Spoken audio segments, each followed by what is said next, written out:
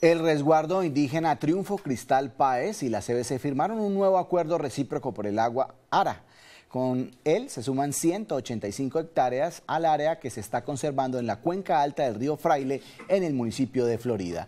Así se completarán 849 hectáreas en las que se conservarán ecosistemas reguladores de agua, generando corredores biológicos para la fauna y los recursos bosque y agua.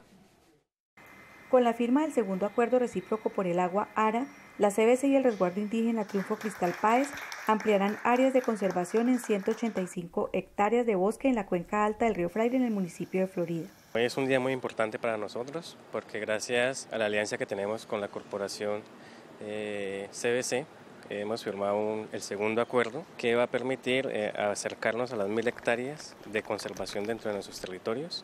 Aumentar el total de hectáreas de bosque, conservar los ecosistemas reguladores de agua, generando corredores biológicos para la fauna presente, así como la reducción de las amenazas directas a los recursos bosque y agua, hacen parte de los objetivos de este segundo acuerdo. Hemos eh, en una primera etapa eh, trabajado en 664 hectáreas, Ahora estamos adicionando 185 hectáreas aproximadamente. Es el trabajo unido para que tengamos acuerdos recíprocos por el agua, que es una eh, tarea que venimos eh, realizando con el amparo de la organización RARE.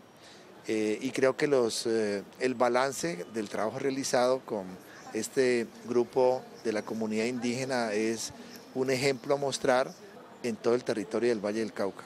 Hoy podemos ver el oso de anteojos, podemos ver a los venados, podemos ver las pavas de nuevo en nuestros territorios, gracias a esa, a esa conservación que tenemos y a esa alianza que tenemos con la corporación. Con la firma de este acuerdo se busca establecer compromisos mutuos para contribuir a la protección y restauración de la subcuenca Santa Bárbara, Cuenca Fraile, que permita el mejoramiento de la disponibilidad y calidad de agua para el municipio de Florida. Informativo CDC, otro compromiso con la región.